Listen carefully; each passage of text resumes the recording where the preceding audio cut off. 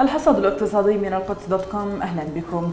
أصبحت قضية البطالة وارتفاع أسعار السلع الأساسية التي تشكل من سلة المستهلك الفلسطيني نحو 68% تؤرق الفلسطينيين خلال الأعوام الأخيرة وما يرافقها من تباطؤ في معدلات النمو الاقتصادي وتراجع في أرقام الناتج المحلي الإجمالي.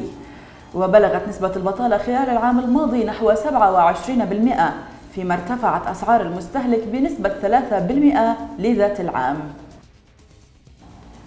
تعيش أسواق قطاع غزة تداعيات إغلاق أنفاق التهريب وقد اختفت منها تماما أصناف عدة من السلع.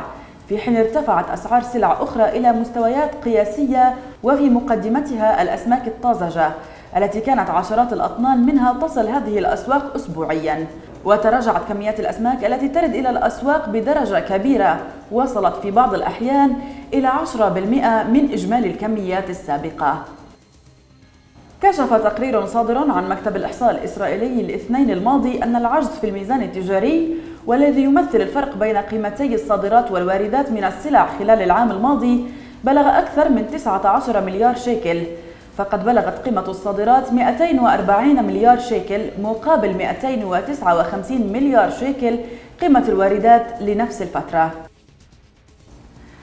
دعت وكالة الإغاثة الدولية أوكسفام الدول المشاركة في المنتدى الاقتصادي العالمي في دافوس هذا الأسبوع لاتخاذ إجراءات عاجلة لمعالجة التفاوت الواسع في الثراء. مستدلة على هذا التفاوت بأن ثروة نصف سكان العالم تملكها الآن مجموعة صغيرة من الناس لا تتجاوز عدد ركاب حافلة من طابقين أي قرابة 85 رجلا من أغنى أغنياء العالم. نهاية الحصاد الاقتصادي شكرا لمتابعتكم وإلى اللقاء.